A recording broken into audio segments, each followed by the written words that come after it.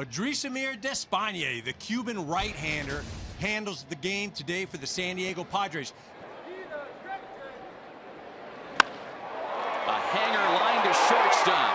Amarista to Conrad, and they doubled off Pence. The power, the slugging has just disappeared. Crawford with a little tapper that Despaigne gets to to retire the side for Despaigne this inning.